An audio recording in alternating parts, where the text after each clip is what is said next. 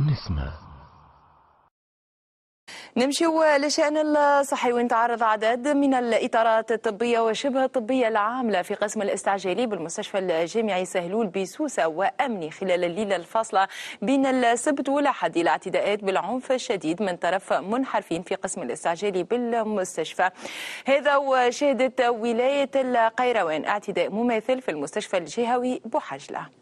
شهد مستشفى سهلول بولاية سوسة في الليلة الفاصلة بين السبت والأحد. تعرض عدد من الإطارات الطبية وشبه الطبية العاملة بقسم الاستعجالي إلى اعتداءات بالعنف الشديد من طرف ثلاثة منحرفين. قاموا كذلك بتحطيم عدد من التجهيزات الطبية. وخلفت الاعتداءات أضرار بالغة على مستوى الرأس لدى عون أمن. وكذلك كسور في اليد تستوجب عملية جراحية لدى طبيب مقيم بالمستشفى. فضلا عن تسجيل إصابات وكسور لممرضين. في الحالة كلها اعتداء على عون أمن اعتداء على طبيب اعتداء على عدد اثنين من الممرضين وتهشيم وتكسير معناتها محتويات آه، القسم اللي هي آه، محتويات باهظ ثمن وتكلف آه، المستشفى والمال العمومي معناتها كلفة إضافية الإجراءات اللي لازم اتخاذها باش نقصوا من الحدة نتاع ليزاكريسيون هذم وفي كل الحالات باش نحطوا المريض أمام أعيننا ونحاولوا نتكفلوا به أقصى ما يمكن وفي نفس الوقت حماية الأعوان بتاعنا أقصى ما يمكن كذلك. وتزامنت الحادثة هذه مع أحداث عنف في مستشفى بوحجلة بولاية القيروان من قبل مجموعة من الشباب بعد حفل زفاف خلاف جرحى وانتقلت الفوضى للمستشفى حيث تم الاعتداء على الإطار الطبي والممرضين وتهشيم تجهيزات المستشفى كما غادر عدد من مرضى المستشفى خوفا على سلامتهم قبل وصول التعزيزات الأمنية على عين المكان. ثم شكون جاء متضرر من الأول